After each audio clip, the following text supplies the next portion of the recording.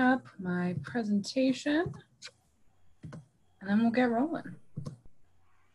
Awesome. And everyone, we should let you know that we are recording this webinar, so it will be posted on Cash Academy afterwards, um, just so that you're aware of that. And it is on Facebook Live. Thank you. Yeah, thank you, Sue. And thank you for the opportunity to be with everybody here today, um, to put this on Facebook so that hopefully even folks who aren't available right now can check it out later. Um, and we're going to be talking a little bit about health insurance benefits, how they work, how we can use them right now, even though things are a little bit weird, uh, and how we can use them to stay healthy, which I'm really excited about. So we're to dive right in. So the goal for this is to help people understand how to get and use your essential health benefits, and then also to, how to understand them. And I'm going to explain what I mean by essential health benefits and, and all the stuff that I'm saying here, but um, that's, that's really our goal for today. We're going to cover, you know, maybe 20, 30 minutes, uh, and we're really going to focus on essential health benefits. And the main questions that we're going to address are, why is it important to get and use the essential health benefits? What are they and how do they relate to this COVID-19 pandemic and situation? and how do I receive my essential health benefits? So hopefully by the time we're finished with all this, everyone is going to come away with a really great understanding of how to be smart and how to use the all the wonderful benefits that come along with a health insurance plan. Okay. So why is this so important? Why did I reach out to Sue and ask her if I could have a little bit of everyone's time to talk about this? You know, why is it such a big deal? One of the biggest things we know about the essential health benefits are that they help improve the health of both adults and children. Uh, and hopefully that's going to make a little bit more sense when I go through the different uh, essential health benefits. But really, what we're talking about here is we have research that says when people use their health insurance, not just for um, getting treated for a condition or going to urgent care, but when they use their health insurance for checkups and you know screenings and all sorts of other things, they tend to be healthier. And because they tend to be healthier, it tends to save them money. So uh, whether you recognize it or not, the cheapest time to manage a health condition is really to, to prevent it and not ever get it to begin with.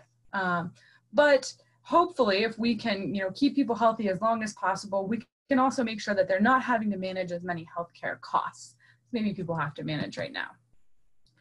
And when we can get people into a situation where we're addressing problems before they become really significant, um, and we're keeping people in a state of prevention rather than treatment, that lowers the cost of healthcare for everyone, which is a really good thing when it comes to health insurance plans.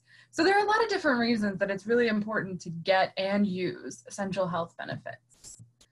Um, so what are they? We keep talking about essential health benefits. What is the deal with essential health benefits? Okay, so hopefully this isn't too long ago for folks to remember, um, but under the Affordable Care Act, which was passed in 2009, it established essential health benefits. And basically, what it said was okay, to be considered a health insurance plan, for us to call you health insurance, you have to cover 10 different things. Um, and this particular part of the Affordable Care Act is still part of the law today. Um, there have been some attempts to change it. There have been some association plans and different things that, that people have been able to offer. But generally, almost any health insurance plan that you get is going to cover these 10 services that I'm going to describe. Okay, to be called health insurance, it's got to cover these things. And the reason for this is because um, before the Affordable Care Act, when people were trying to make plans less expensive, they would cut some of the different services so that they could not have to cover those things. Uh, and then they'd be able to set the maybe the premium for the plan a little bit lower. When I go through this, hopefully it'll make more sense. Okay, so what are the essential health benefits? First, it includes prevention and wellness services. And this was one of the big things that came out of the Affordable Care Act. Hopefully, it's something uh, that you've heard about before. But under the Affordable Care Act, it basically said we're providing as much prevention and wellness service as possible with no cost. Okay. So that's why things like regular checkups you don't have to pay a copay for. Um, if you're going to the doctor, to get a vaccine or a blood pressure screening or some of these different prevention things.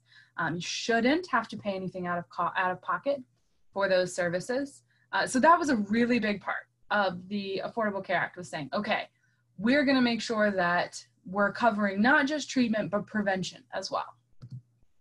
Lab tests are included.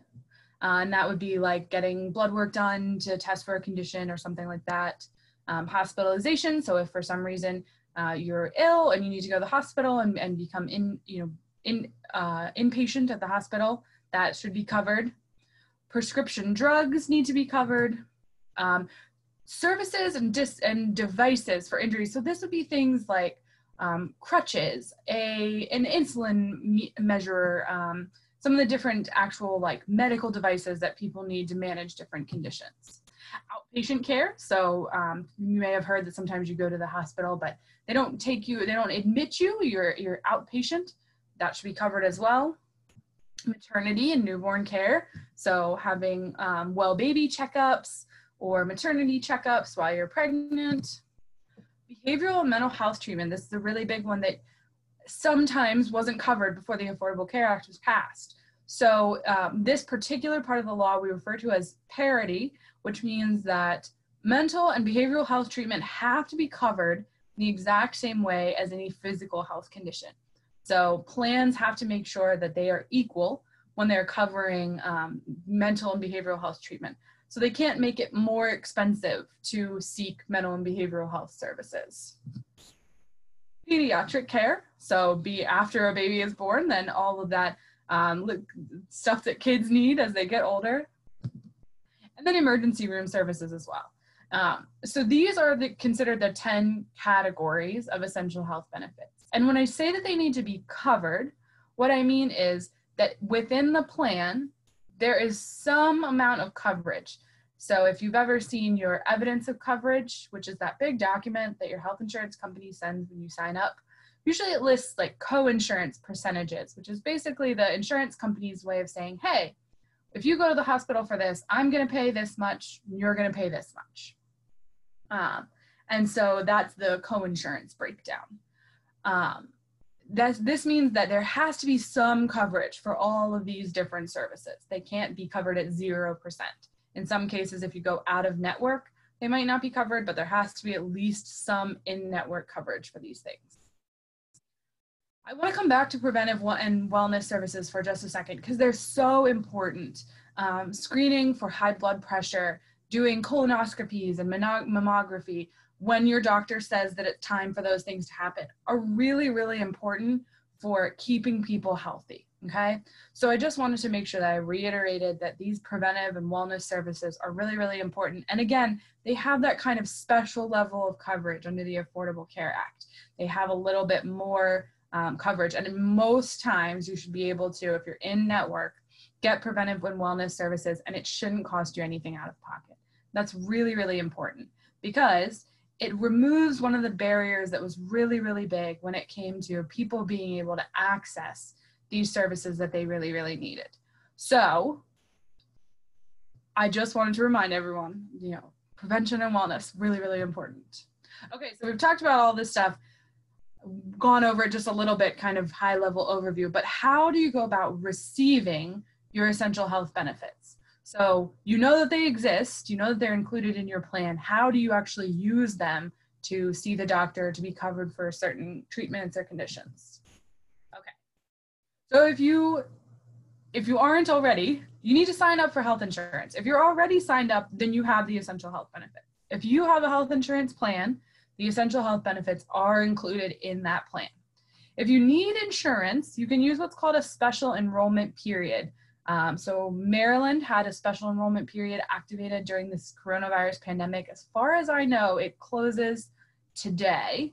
Um, so if you don't have insurance right now and you need to get signed up, try and do that today. Um, they may reopen that. It depends on if, if there's a big need in the community.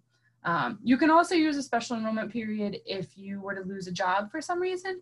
You have 60 days to get signed up for new insurance, um, and you can do that on the marketplace.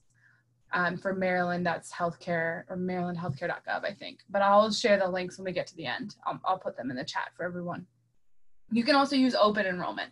So if you have health insurance, but it hasn't really given you what you want, you can also use the open enrollment time, which is usually fall into early winter, uh, to get signed up for a new health insurance plan, to switch health insurance plans, that kind of thing. So the most important part is to make sure that you're signed up for health insurance and to make sure that you're paying your premiums because if you are not paying your premium which is like that monthly fee that you pay to be a part of your health insurance plan. Um, if you aren't paying that, then you won't be able to access these benefits. Okay, so you've got health insurance, you're paying your monthly premium. How do you access your essential health benefits? Really, most of the time, it's going to be through a visit with your healthcare provider. And almost always, it's going to start with a visit with your primary care provider your primary care provider, your PCP or your primary care physician, that is the main doctor that you go and see. Um, a lot of people talk about, oh, I need to go see my doctor. That's usually their primary care physician. Um, and so that's the doctor that you go to when you need your annual checkup. That's the one that you go to maybe if there's something going on that you want to get checked out. Uh, and so hopefully you have a relationship, a doctor that you see regularly that you've seen for a long time that knows you really well. That's where you might want to start. Um, keeping in mind that right now that visit might be in person, it might be virtual, or it might be a call to your doctor's office. So say you get out your, your information and you're looking into, you know, oh, I have access to maybe counseling with a dietitian through my healthcare plan you would be able to call your doctor's office and maybe get a referral to someone who's in network. You could also go through your insurance company as well. Um, and so those are usually services that are offered by your health insurance company. When you sign up for health insurance, you should get a card, and that card might have a website or a phone number. Uh, and usually you can call or go online, access that information, and then you can see what kind of services are available to you under that health insurance plan. Okay, so kind of two main ways there visit with a healthcare provider or contacting your insurance company. And that's how you should be able to um, take advantage of maybe any extra benefits that you have um, or your regular benefits that are just going to kick in when you need to go to urgent care or you need to see the doctor for some reason. Specifically for COVID 19 testing and treatment, we want to think about right now, you can get COVID 19 testing and it's not going to cost you anything out of pocket. Again, in some locations, depending on where you are, you still will probably need to call your doctor, get in touch with your doctor's office, and get an order uh, or a referral to go and get the test. Um, but then you can go and get it, and you shouldn't be charged for that. If you need treatment, you can do the same thing. Um, call the doctor's office maybe and explain your symptoms, see if they think you should go to the emergency room or urgent care. But keep in mind that your, your main primary care doctor's office is a great initial contact point for you to call and get information. Many times they have um, a nurse hotline where you can speak with a nurse and explain the situation or someone from the office, and they can make a suggestion. You know, well, we have appointments tomorrow. We think you can come in then. Um, that sounds more like an urgent care situation. I know a couple of years ago, I was at work and my stomach was really hurting. And I mentioned it to someone at the office, and they said, eh, you know, you might need to go to your doctor's office. You might need to see what's going on. You know, do you have a fever? I'm like, yeah, maybe a little bit. so I called the doctor's office. I said, hey, um, I have a little bit of a fever. My stomach really hurts. And they said, uh, we'd like you to go to urgent care. I think maybe that that's a good idea. So I went to urgent care and they ordered some tests and said, yeah, it's your appendix. You need to go to the emergency room. So I was able to start with my doctor's office for something that I wasn't entirely sure what to do about, and they directed me to the right place, and I got all the right care that I needed from there. So keep in mind that calling your doctor's office, sometimes even insurance companies offer like a nurse hotline or helpline. Um, you can go through some of those places. But right now, you can also access um, some virtual visits health insurance companies right now have really expanded how much they're allowing people to access online. Uh, so you might be able to get a visit with a doctor for some sort of um, small thing that you want to get managed. Like maybe you have, like I know one time my eye had a sort of a swelling thing that was going on, and I got a virtual visit. I was able to do it from my office during my lunch break. I got on a chat with a doctor and said, "What is this?" Uh, and they were able to tell me what was going on and what I needed to do. And I didn't have to leave work or take a sick day or anything like that. So sometimes the virtual visits can be really, really helpful. Um, and they're really expanding how much is covered under those virtual visits right now. A little bit more on the testing and treatment. Again, as I mentioned, the testing should be, should be provided at no out-of-pocket cost. You may need to get an order from your doctor in order to get the test Another thing to keep in mind is that if you if you do test positive for COVID and you need treatment for some reason, um, it'll depend on your insurance company and your state policy as to how much you end up paying out of pocket for that treatment. Right now, some of the different states and insurance companies have said, you know, if you're on a state managed plan, we're not going to ask you to pay anything out of pocket for COVID treatment. Or if you're on um, a certain health insurance plan, that health insurance, the phrase that they're using is they've waived cost sharing. So cost sharing is when the insurance company pays some and you pay some. So if they waive cost sharing, then that means that um, you are not responsible for your portion. Okay, so you might want to check what's going on with your insurance company, see if they've waived cost sharing. Uh, and that's just a good thing to know because it might help give you some peace of mind that if you needed to get treatment for some reason, maybe it won't be as expensive. I want to go over just a few key points for making sure that you're using your insurance really well. And the first, as I mentioned before, is to make sure that you're paying your monthly premium to maintain your health coverage. For a lot of people, this is going to be something that comes out of your paycheck every month. It's not something you have to actively do, especially if you're getting your health insurance through your employer. It's called what we call payroll deduction. So before you even see your check, it's going to have that money taken out to cover your health care. Um, if you are someone who carries healthcare for maybe your whole family or for your spouse or for a child, you know, you'll see that all of that comes out at once. If you pay through, you know, if you're self-employed or if you have to pay into insurance on your own, you might actually have to set up that reoccurring monthly payment.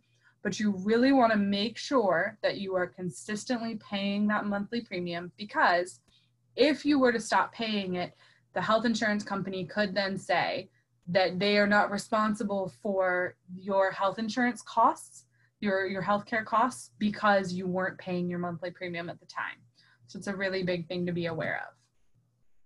I mentioned this a little bit, but in network versus out of network. So uh, in network doctors are usually less expensive. And again, those you can find that out by calling a doctor's office, by reaching out to your health insurance company, uh, and getting a list of in network doctors but staying in network is really, really important.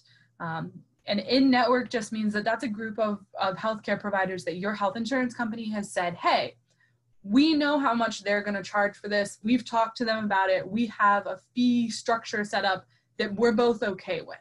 So when you're in network, usually you pay less out of pocket and you don't usually have as many um, balance billing things or, or those kind of weird cost things that can come up and really frustrate people it's good to get in the habit of also making sure that your doctor is still in network at each appointment. So doctor's offices can sometimes um, maybe have some frustration or some struggle when they're dealing with a health insurance company or a particular plan and say, you know what, I'm not going to be, I'm not going to deal with that anymore. Uh, and they can choose to stop taking certain types of insurance. And it's possible that that might happen um, between one you know between two of your visits so you might go in once and they're in network and you might go in the next time and they aren't they aren't so it's really important to say when you know maybe when they ask you for your insurance company hey i'm just just double checking here you're in network for my insurance plan correct uh, and they should be able to answer that for you again that's just one of those things that you can do to make sure that you're not going to get hit with a really big bill that you aren't expecting and I'm also not saying that you know you you should avoid going to the doctor if you can't go to a doctor that's in network. I'm mostly saying that when when it's possible for you to ask questions and um, go choose to go to a different place, you want to try and stay in network as much as possible. Again, if it's an emergency, you got to go where you got to go. That makes complete sense. And make sure that you're using all the health essential health benefits you need. So, like I said, there are 10 essential health benefits. Not everyone is going to need all 10, um, but you might need one of each at some point in your life. I know I've needed a cast, I've needed, uh, I went to the hospital for my appendix, I've, you know, needed all sorts of stuff at different points in time. Um, but it tends to be the ones that are more related to prevention, um, that are more related to working with maybe a wellness coach might be offered through your health insurance plan. Those sorts of extra things that maybe we aren't aware of. Those can be the ones that we either don't know about or tend to forget about. So if you've got access to things like that through your health insurance plan, take advantage of it. I always liken it for people to, you know, if I were paying for a gym membership and my gym had a sauna and a pool and all these different things, and I only ever went in and walked on one treadmill, then maybe I'm paying for a gym that's more expensive than I really need. Maybe I could sign up for a less expensive gym membership. So make sure that if you have paid this money to be a member of this plan, that you're really taking advantage of all the services that it's providing to you. And then, as much as you can, you want to plan for out of pocket healthcare costs. Um, out of pocket healthcare costs are those things like co-pays that you pay right when you get to the doctor's office. They're the co-insurance, which is the you know what you're paying. You could also consider your premium to be an out of pocket cost. And the reason I say that is you just want to know what those kind of costs will be. Um, you know how much your copay is for certain prescriptions and things like that you want to know how much those costs will be so that they don't end up surprising you. Um, you know, one of the things that my coworkers and I have noticed is that, like, if you're looking at a um, budget, a household budget, it doesn't include medical expenses a lot of the time. And for some households, medical expenses might be a significant portion of what they're paying for in different prescription costs and things like that. So, planning for out of pocket healthcare costs, including it in your budget, can be a really big step towards making sure that you're not ending up in a situation where you have this really massive surprise medical bill. And again, at the end, I'm going to share some resources so that um, if you want to see, we have a um, spending plan that includes medical expenses as one of the items. If that's helpful, uh, then you can take advantage of that. We have a list of some reliable resources here. These are some of the ones that I'm going to be putting in the chat. Um, but healthcare.gov is the national healthcare website. It has some really great information. Um, extension.umd backslash insure, that's our uh, extension website that we use to put out our information and resources for folks. I'm going to be sharing some stuff from there as well. All right. So I know that the, if there anyone, I can't see at the moment, but if there's anyone joining us on Facebook Live, I won't be able to see uh, any of the things that you share, but maybe Sue can pass them along if there are some of those things. For now, I'm going to take a look at the chat. Carrie, this time we don't have any questions on Facebook Live. Thanks. Sounds good. And thank you for putting the healthcare.gov link in the chat here. I'm going to pull up just a couple of other things. So I'm going to put in the chat our link to our consumer resources page the extension. I'm also going to put in a link to our document that we have that is um, helping people estimate and make a good guess for out-of-pocket expenses. And that is a like a fillable PDF tool that folks can use to figure out how much you might have to pay out of pocket for the different healthcare things that you need in your particular life. Um, I also want to share this. So this is my contact information. Uh, my email is there if you have a particular question that, that you know you need me to share with you. It's cjrsoren at umd.edu. Um, or if you'd like someone to come and do some of these um, health insurance trainings for your organization, we have five different modules that we offer around learning about how to use your health insurance effectively. We're going to be offering a series of health insurance um, topics through the month of July. So we'll be kicking that off fairly soon and we'll be covering uh, health insurance basics, how to understand and estimate costs, how to understand and use your health insurance benefits. A little bit of that is what I went over today. Um, and we'll be piloting or you know presenting our new module, which is health insurance disputes. So we'll be going over how do you um, argue is maybe a strong word, but how do you disagree with your health insurance company? How do you um, make sure that they cover something that you think needs to be covered. Um, we're going to be going through that a little bit for folks. The QR code is for an evaluation for me. So you can hold your phone up to that. It'll take you to a link uh, that asks you a couple of questions about how I did with my presentation. And if folks have time, I'd appreciate that. Let me make sure I don't have anything else here. Yeah, so just a big thank you to everyone who attended today. Um, or if you are taking some time and watching this on Facebook later, Thank you for um, taking some time out of your day to learn this information. I hope that it's helpful to you and that it will help you to use your health insurance in a way that can help you stay well, especially right now. Um, I also want to share, let's see if I have that link here. I might have to pull it up. Um, there have been some really great um, pieces that different people have done. I didn't link to those in the presentation, but it's really important right now to keep in mind if you're unsure about whether or not you should go to the doctors right now. Um, really, the number one thing to do is to get in touch with your healthcare provider. There are a lot of folks right now who are unsure of, you know, is now a good time for me to come in and get this particular screening? Do I need to keep doing checkups with my doctor right now, or am I better off staying at home? can I do a virtual visit to do some of this to cover some of the things that you know I need to make sure I have covered? Those are all questions that folks have. And unfortunately, because everyone is so different when it comes to their age, their health status, where they live, what their provider is capable of offering, I don't have one answer that I can give that'll fit for everyone, uh, except to say, if you have any questions at all, if you're unsure at all about whether or not you should be doing something as it relates to your health. Reach out to your healthcare provider, reach out to a doctor's office, see if you can speak to someone from your insurance company um, because they want to hear from you. They want to make sure that you are not missing out on health coverage that you need to stay well, to stay well and stay healthy.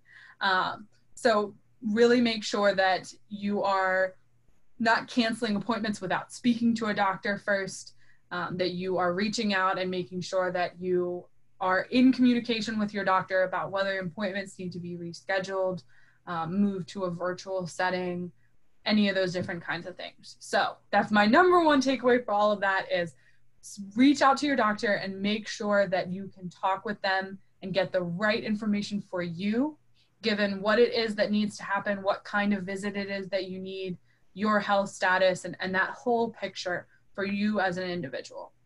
Um, so if there's one key point I want to make sure that everybody gets today, it's that stay in touch with your healthcare provider and have them help you figure out how to manage your healthcare needs right now. Because there are ways that you can make sure you stay on top of everything. All awesome. right. Yeah. Well, Carrie, thank you so much for this great information. Um, we certainly are, are well aware of how much uh, medical cost and health insurance you know, is critical to a person's financial well-being as well. So, and I echo um, your thoughts with everybody on the webinar or listening to it later is, is please take care of yourself uh, first. And certainly if you have questions, you know, reach out and, and you know, there's people there that, that can help. So really appreciate you taking time to deliver this information today. It was great. Um, again, this webinar is being recorded. It will be up on Cash Academy. Of course, it'll be on Facebook Live.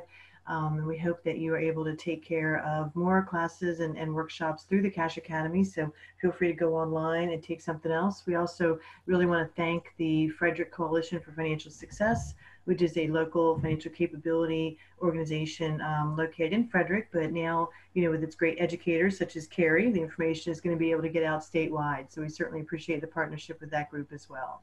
So we are going to um, end today's presentation. And again, it will be posted up on Cash Academy within a few days. Sounds good. Thank, Thank you, everybody. You. Have a good day.